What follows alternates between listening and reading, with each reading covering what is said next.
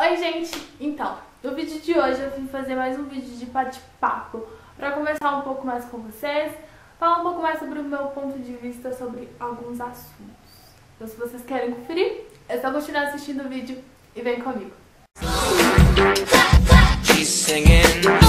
Hoje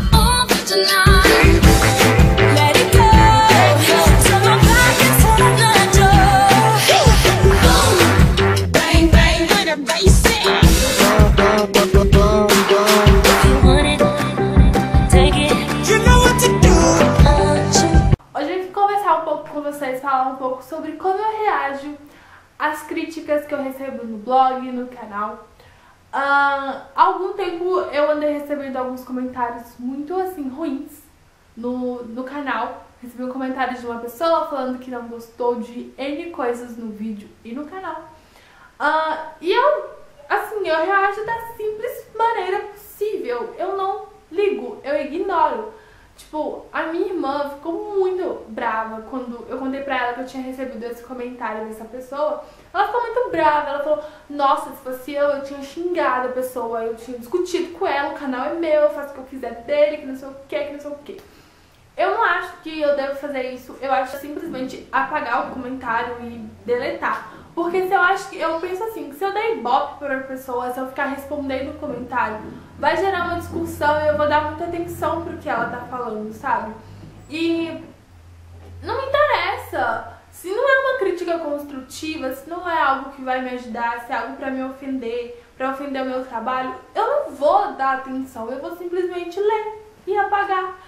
Uh, na hora eu fico meio abalada, assim, confesso, fico meio triste com o comentário, mas Dane-se. É a opinião dela? É a opinião dela. Eu tenho a minha, não tenho? Então, a minha opinião é de que meu canal tá bom do jeito que tá, os meus vídeos estão bons do jeito que tá. Claro que eu posso cada vez melhorar mais, mas é uma coisa minha. Então, se tá bom pra mim, e eu acho que algumas pessoas vão gostar, pronto. É, só mesmo para comentários ofensivos ou comentários ruins.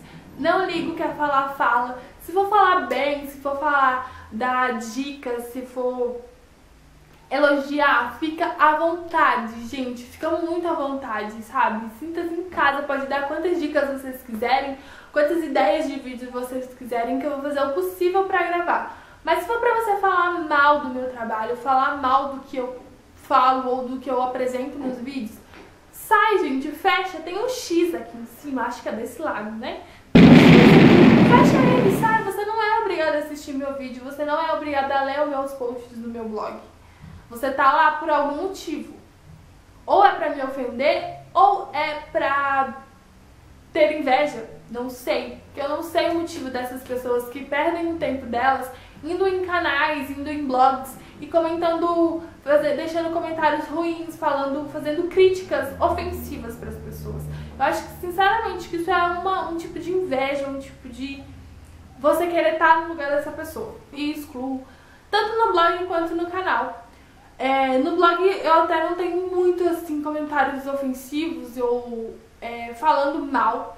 Tenho vários comentários de pessoas que gostaram dos posts, graças a Deus, que gostaram dos produtos, que vão testar, que, que gostaram da marca que eu apresentei, ou algo do tipo. Não tem muitos comentários ruins não, e eu fico muito feliz por isso, porque eu não tenho esse trabalho com um blog, mas com um canal é algo mais diferente, porque eu tô aqui falando e conversando com vocês, então sempre vai ter... É aquela pessoa que vai lá e vai falar que tá ruim uma coisa que tá ótima. É porque é a lei da vida. É a lei da vida. Tudo que tá bom, alguém vai achar que tá ruim. Tudo que tá ruim, alguém vai achar que tá bom. Porque eu não sei, porque eu não sei. Mas, então, é, eu dou essa dica pra você que faz vídeos no YouTube ou que tem blog. Se alguém comentar te ofendendo ou ou fazer, falando mal do que você está fazendo no seu vídeo ou no seu post, ignora, gente. Lê e exclui. Exclui, porque se você der ibope pra pessoa, ela só vai falando, só vai falando e só vai comentando ruim e vai virar uma discussão, vai virar uma coisa ruim pro seu canal, pro seu blog, pra você também. Você vai perder o seu tempo respondendo pessoas que só querem te colocar pra baixo, que só querem é, criticar. Não, ignora, deixa lá. O problema é seu, minha filha. Você tem a sua opinião, eu tenho a minha. Entendeu? Não liga, ignora, dane-se a pessoa, dane-se o comentário dela.